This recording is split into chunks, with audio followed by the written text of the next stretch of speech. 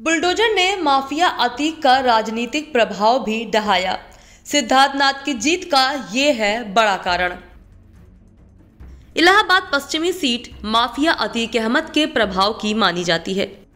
लेकिन इस चुनाव में बुलडोजर माफिया की राजनीति पर भी चल गया।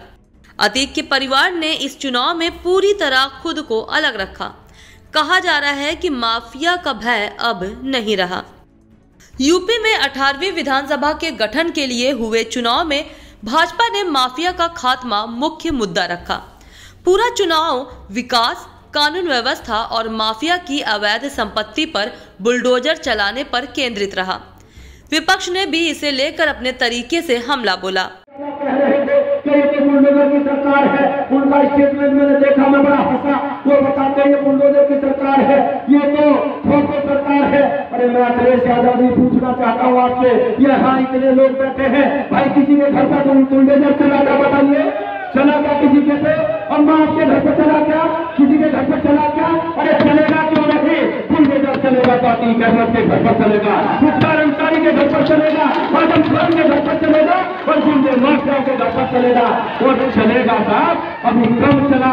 वो कहते हैं कि ये ठोको सरकार है, ये ठोको सरकार है। सरकार है। अरे हम दावे के साथ कहते हैं कि हम ठोको सरकार है। और हमने पिछहत्तर परसेंट गुंडों को दिया।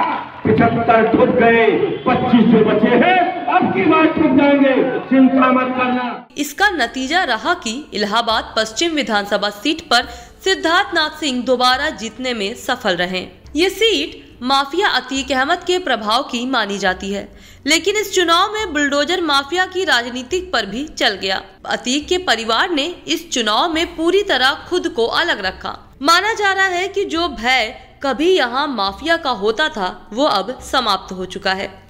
पिछले पाँच साल में कैबिनेट मंत्री सिद्धार्थनाथ सिंह लगातार इलाहाबाद पश्चिम विधानसभा में सक्रिय रहे। अलग अलग गाँव में जाकर लोगों के साथ बैठक करने से लेकर उनकी समस्याओं को सुनने तक के सकारात्मक नतीजे आए। इसके अतिरिक्त क्षेत्र में बड़ी परियोजनाओं की भी आधारशिला रखी गई।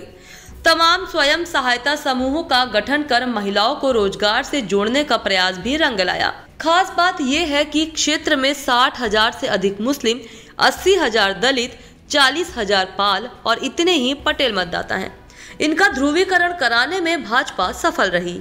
इलाहाबाद पश्चिम विधानसभा कभी अतीक का गढ़ माना जाता था। यहाँ से लगातार पाँच बार विधायक बनने में सफल रहे। समय का चक्र घूमा और सब कुछ बदल गया।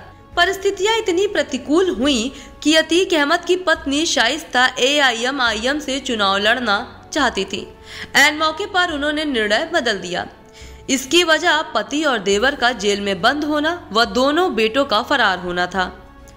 सपा के शासन में माफिया अतीक ने शहर के कई हिस्सों में जमीनों पर कब्जे किए। बहुत से निर्माण कार्य भी कराए। योगी आदित्यनाथ सरकार ने शिकंजा कसा, तमाम संपत्तियों को कब्जे से मुक्त कराया। अवैध निर्माण कर भी बुलडोजर चलाया। इनमें स्थानीय विधायक सिद्धार्थनाथ सिंह ने भी महत्वपूर्ण भूमिका निभाई। ये सभी चीज़ें चुनाव नतीजों को प्रभावित करने में कारगर साबित हुई। इस चैनल को देखने के लिए लाइक करें, सब्सक्राइब करें और बेल आइकन दबाना ना भूलें।